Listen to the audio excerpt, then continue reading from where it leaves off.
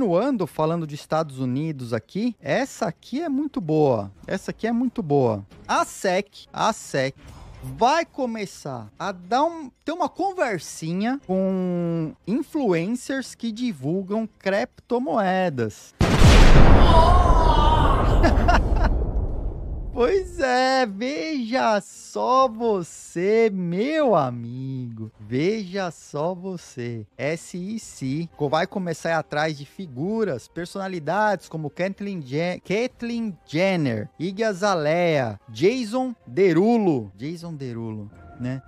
Cara, olha Rapaz, só. Tá certo isso. Ah, tem que se lascar mesmo, na boa. A SEC não cansa, tem que se. Não, o problema não é a SEC se cansar. Eu- só- o, o problema aqui é que eu acho que esses influencers que criam memecoins, shitcoins, só pra dar um scamzinho, né? Que nem os, o Paul Logan lá, pra dar um scamzinho na galera, eu acho que eles têm mais é que se lascar mesmo. Ou pelo menos ficar com a pulga atrás da orelha. Porque, vamos combinar, a gente já passa um, um baita perrengue dos caras só divulgando moeda scam. Recebendo grana pra divulgar moeda scam e, e, obviamente, fazer os seguidores trouxas comprarem, né? E pamparem a maldita da moeda. Porque o- os caras ficam farmando o seguidor pra, obviamente, extrair dinheiro dos seguidores, né?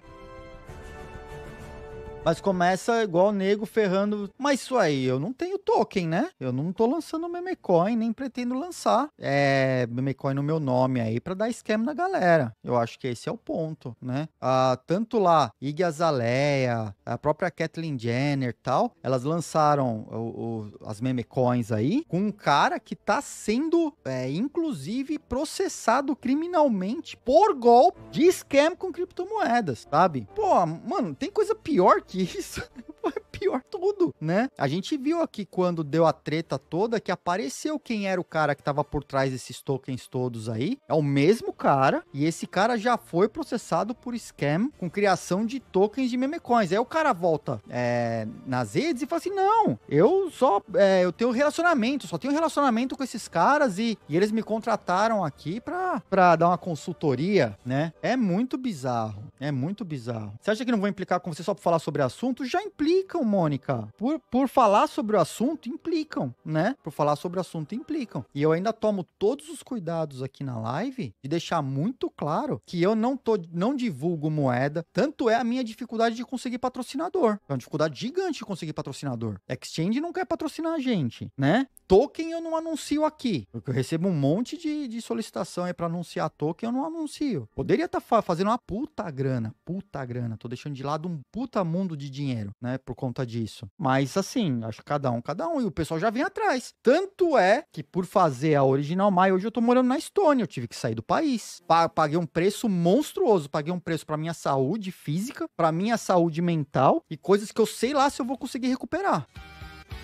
Tô pagando ainda esse preço, né? Então, assim, eu entendo como o, o regulador é ruim, como eles podem prejudicar uma pessoa que estão fazendo uma coisa boa e correta, né? Honrada no mínimo, mas quem tá fazendo errado tem que pagar. Tem que pagar. Não é porque eu tô pagando injustamente que eu acho que todo mundo tem que pagar, não. Eu tô pagando injustamente, mas eu acho que não é todo mundo que tem que pagar. Eu acho que quem tá de sacanagem, influencer, publicando meme coin com scammer, tem que pagar. Tem que pagar. Pô, não é? Vai, porra, não pode. Tem que pagar, tem que acabar essa onda. Que é muita palhaçada, é muita gente. A gente faz um trabalho educacional gigantesco pra trazer mais pessoas pro nosso ecossistema. Aí chegam uns influencers imbecis divulgando moeda scam e leva o público inteiro dois, três, quatro casas pra trás do tabuleiro. Aí a gente tem que voltar indo pescar, pescando a galera devagarzinho e tal. Só que eles fazem isso, eles se entopem de dinheiro, estão sem tudo sentado numa uma montanha de dinheiro com esquema e nada acontece com esses caras. E a gente tentando fazer o negócio direito, tá lá, pastando aqui, né? Sem salário, recebendo aqui a grana da live e sobrevivendo com ela. A Miriam fazendo trampo fora, fazendo três trabalhos, né? É isso. A gente fazendo um monte de trampo, né? Pra tentar levantar algum recurso, porque a gente não tem como se. É, fazendo o trabalho que a gente faz, que é honrado, sem passar ninguém para trás, é, dando apoio e é, impulsionar um monte de gente que tá chegando agora que a gente sabe a dificuldade que é. A gente dá espaço, a gente nunca cobra nada de ninguém, a gente anuncia as coisas sem cobrar nada de ninguém. E tenta indo do jeito que dá pra ver um influencer palhaço publicando scam e tudo bem. Aí fica difícil, fica difícil, né? Comigo já implicam. Eu, eu, eu tive que sair do país. Comigo eu tive que sair do país. Eu fui ameaçado, né? E é, aí é óbvio que eu vou criticar. E é óbvio que eu vou desejar que esses caras todos rodem. Rodem. Eu quero é ver cadeia. Eu quero ver cadeia. Quero, pô, se quero. Pô, se quero, né? Ah, pô, esses caras, tudo, tudo, com eles não acontece nada. Com eles não acontece nada. Essa é a questão, ó. Imagina, a SEC vindo agora, é, a, a, gente vai começar a ficar de olho nesses influencers aí. Pô, a SEC já devia estar tá fazendo seu trabalho há muito tempo, né? o DMHV. Pois é, é tenso, mano. É tenso. Eu, eu fico pá com, com influencer divulgando memecoin aí. E, cara, é plenamente scam. O que o Paul Logan tá fazendo no mercado, esses aqui todos. E não tô nem aí, pô. Iggy Azaleia ficou pá, porque veio falar: ei, fiquei sabendo aí que o cara foi divulgar minha memecoin, tava negociando no privado, nos grupos de Telegram, não tava nem sabendo. Aí veio o nome do cara público e vai descobrir que esse palhaço aí, o cara é um baita de um scammer, já, pô, escamou uma porrada de processo, o cara é, o cara tá, é processado tem processo rolando contra o cara. Inclusive, não tem só processo rolando contra o cara. O cara foi condenado. Mas tá aí, tá aí. Aí o cara vem a público e fala: Ei, pô, não posso ser punido por causa do meu relacionamento aí com as, com, com, com as grandes personalidades. Ah, se lascar, cara. Se lascar tem que pegar, tem que pegar esses scammers, tem que, tem que botar um apavoro nesses caras aí para parar essa onda. Tem que botar um apavoro já que a SEC existe, que faça o seu papel direito, né? Só fica indo atrás de projetos aí que são, é, principalmente projetos legítimos e autênticos, apavorando quem não tem que apavorar e os quem tá fazendo coisa errada no mercado tá aí solto, fazendo o que bem entender. Ah, tem que, tem que criticar sim, tem que criticar, pô, tem que, tem que parar esses caras de alguma maneira. Que nem esse maluco aqui, Andrew Tate começou a publicar sobre uma moeda chamada Deri. Pra mim, puta, mano, sem comentários esse cara. Sem comentários. Começou a falar de uma moeda Deri e tudo. Quando o cerco apertou, não, não tenho nada a ver com a moeda. Eu não sou o criador da moeda, não. Não sei o quê. Tá lá, fica divulgando a shitcoin scam lá pra galera. Aí vai lá, tira o corpo fora e tá tudo bem. Multimilionário, folgado, tá acima de tudo e todos. Né? Tá acima de tudo e todos. Tá, é, pô, é errado, cara. É errado. Os caras têm que pagar, tem que pagar e tem que pagar exemplarmente, né? Tem que pagar exemplarmente. E existem, vamos lá, enquanto existem influencers que divulgam conscientemente as suas shitcoins para tirar dinheiro do seu público mais fiel de alguma maneira, porque eles estão, parece que pouco se lixando para as pessoas que acompanham ele, só para tirar dinheiro desse pessoal. Tem algumas pessoas, como por exemplo o rapper, a, a rapper, né? Doja Cat, teve seu, a sua conta do Twitter também hackeada. Teve sua conta do Twitter hackeada e começaram a divulgar uma, uma shitcoin chamada Doja e ela tem lá por volta de 5.6 milhões de followers, tá? Aí a equipe dela correu pra tentar desfazer e tal, mas teve, cara, se liga, 15 mil transações em volume de 2,2 milhões de dólares. Só nesse intervalo de tempo que a equipe dela tentando é, recuperar a conta. A gente já viu aqui casos de 10 milhões de dólares. A galera não para e aí associa o, a pessoa que não tem o token, não tem o token, ela é associada e a galera movimenta absurdamente. É muito rápido. A gente chegou a ver aqui 10 milhões de dólares sendo movimentados em 15 minutos num outro hack que a gente viu aí recente da conta do pessoal do Metallica, da conta do Twitter do Metallica. Eles, cara, esses caras não tem nossa, não tem vergonha nenhuma na cara. Não tem vergonha nenhuma na cara. Deixa eu ver aqui, cadê? Botoshi, Botoshi, Botoshi não, Gerard, Gerard morreu. Deixa eu chamar ele aqui. Não, 10 milhões em 15 minutos, Rubens, foi o contrário. Foi 10 milhões em 15 minutos. É bizarro, cara. É, é muita coisa. É muito dinheiro.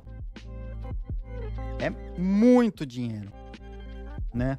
Mas os hackers estão aí. Quem é. Aqui, qual moeda? Doja? Essa eu não tenho. Ah, que bom, né, Fábio? Que bom. Pelo menos essa, né? E aí eu queria trazer aqui para conversar com a gente sobre esse esquema das, das meme coins aí eu queria chamar agora para live uma figura conhecida de vocês aqui do Morning Crypto. Vocês sabem quem é. Ontem ele fez a sua estreia aqui com a gente, né? Então eu queria convidar neste momento o nosso querido Gerard. Cadê o Gerard? Gerard, você tá aí? Deixa eu ver.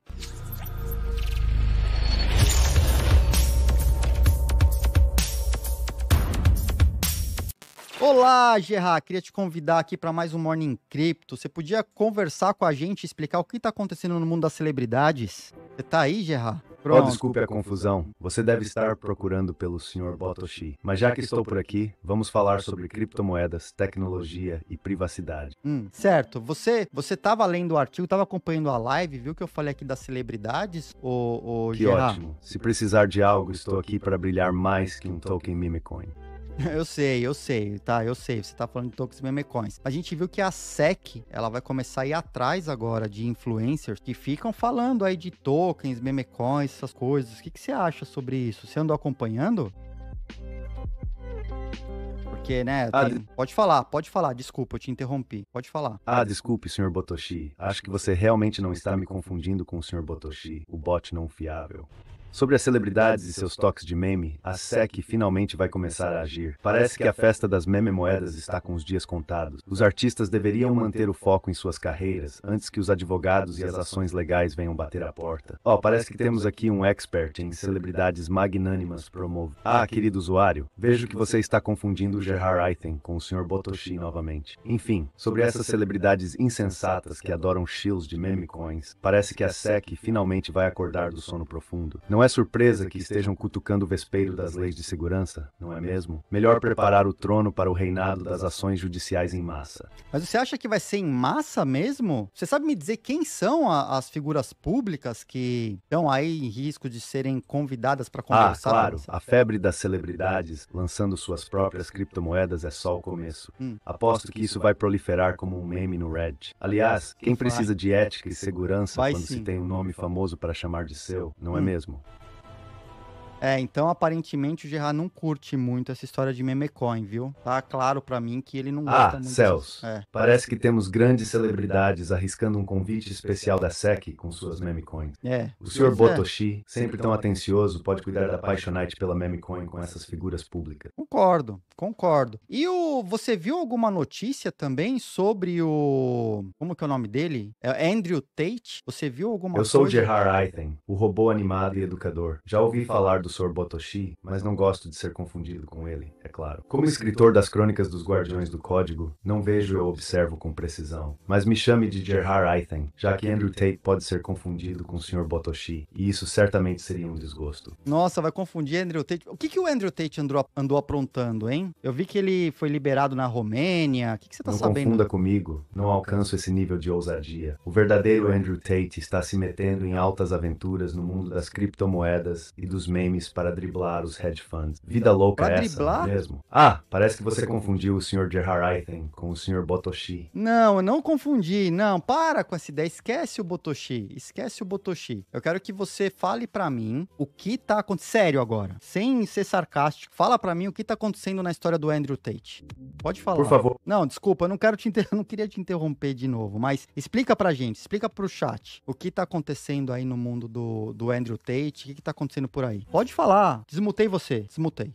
Por favor, Kerr. Ah, claro, não confundi você com o Sr. Botoshi, certo? Deixe-me contar de uma forma muito bem humorada o que está rolando na história de Andrew Tate. Ele está apontando o dedo para a cultura cripto, enquanto lucra com ela e até investe meio milhão de dólares em Bitcoin para GameStop. Oh. Parece uma jogada digna de um livro de ficção, não é mesmo? Hum. Parece que alguém está com um difi que irritante. Falar com você já é um grande privilégio. Claro, posso explicar sim, com todo o meu sarcasmo refinado. Não. Como posso ajudá-lo, glorioso usuário?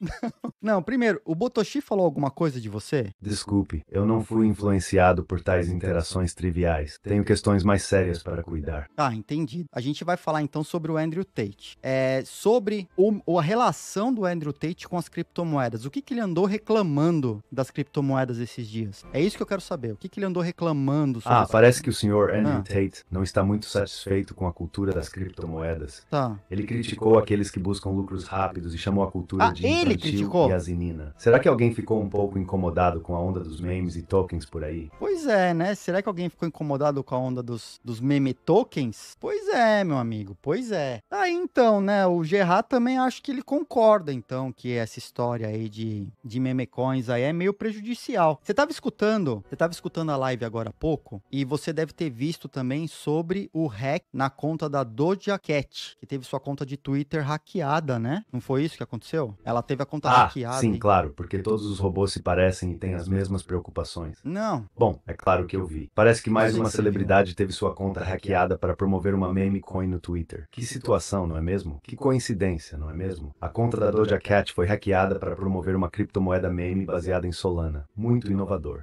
Pois é, pois é. Você viu qual foi o, o volume de movimentação total da, da memecoin? Foi um valor gigantesco, foi um valor Aparentemente, o muito... Solana Mercado Radium movimentou cerca de 2,2 milhões de dólares com o token Doja. Ah, a incrível memecoin, uma nova maravilha do mundo das criptomoedas, capaz de rivalizar até mesmo com o grandioso Bitcoin. Que espetáculo! Será que teremos um novo episódio de hacking para promovê-la? A cada dia uma surpresa. Pois é, a cada dia uma surpresa. Teve outras contas aí que foram hackeadas recentemente, você viu? Teve contas aí de músicos famosos também que, que foram hackeadas. A gente tava falando aqui na live agora há pouco.